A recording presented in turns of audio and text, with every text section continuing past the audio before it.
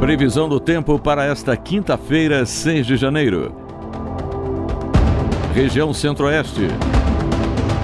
Brasília tem céu encoberto com chuviscos. A temperatura varia entre 19 e 26 graus. A umidade relativa do ar é de 55 a 100%. Goiânia em Goiás tem céu encoberto com chuviscos, a temperatura oscilando entre 20 e 29 graus, a umidade do ar varia entre 60 a 100%. Região Norte.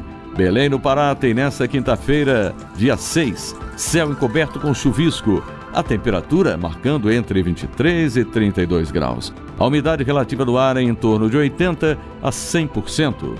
Manaus, no Amazonas, tem céu encoberto com muitas nuvens. A temperatura é em torno de 25 e 33 graus. A umidade do ar fica entre 40 a 90%. Região Nordeste. Aracaju, em Sergipe, tem nesta quinta-feira, dia 6, céu com muitas nuvens passando a claro no período da tarde, a temperatura indicando entre 25 e 30 graus. A umidade do ar é de 50 a 80%. Recife, em Pernambuco, tem previsão de céu com muitas nuvens e possibilidade de chuva isolada. A temperatura é entre 25 e 32 graus. A umidade do ar oscila entre 50 a 90%. Região Sul. Florianópolis, em Santa Catarina, tem céu encoberto e temperatura variando entre 22 e 26 graus. Umidade relativa do ar é de 55 a 90%. Curitiba, no Paraná, tem previsão de céu encoberto, a temperatura mínima de 17 e máxima de 21 graus. Umidade do ar em torno de 70 a 100%.